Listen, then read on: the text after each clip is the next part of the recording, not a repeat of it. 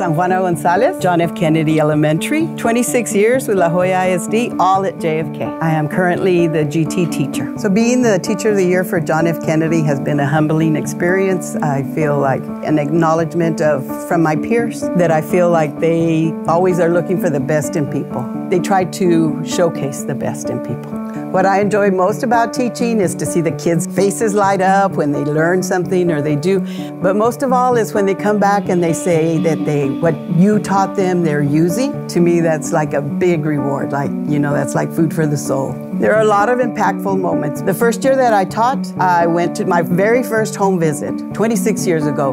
The child came from very, very low means. And here I was like worried about homework. He doesn't bring homework. And I went there and that just like humbled me to the ground. Like, you know what? Things are a lot bigger than me. And this year, that child looked me up. He emailed me and you know, told me you were just like the best teacher. You made such an impact on my life. You never know how far what you're doing is, I mean, it's going to go. I would share with new teachers that teaching is a calling. It's not a, a job. We go way beyond ourselves. We impact today, but we're also hoping to make a difference in the future for kids. You have to have that calling to be able to love what you do.